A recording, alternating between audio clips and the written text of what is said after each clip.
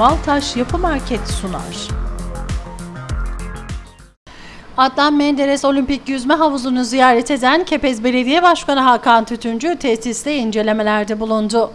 Adnan Menderes Olimpik Yüzme Havuzu'ndaki yaz kurslarına katılan kursiyerler ve velileriyle bir araya gelen Başkan Tütüncü hemşerilerinin belediye hizmetlerinden memnuniyet derecesini ölçtü. İki çocuktan çok gurur verici bir şeydi. Trabzon'a da gitmek istedik ama gidemedik. Tütüncü Adnan Menderes Olimpik Yüzme Havuzu'nda yüzme eğitimi alan ve birçok başarıya imza atan öğrenciler ve veliler tarafından karşılandı.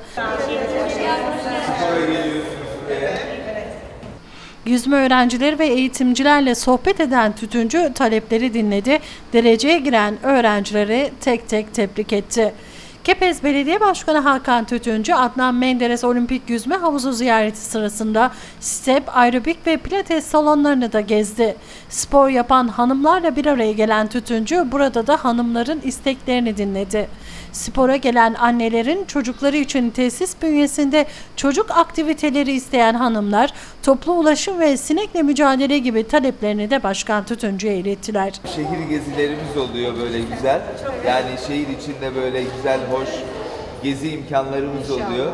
Böyle bir günü farklı bir şekilde paylaştığımız, farklı bir şekilde bir güzel günü yaşadığımız vakitler oluyor.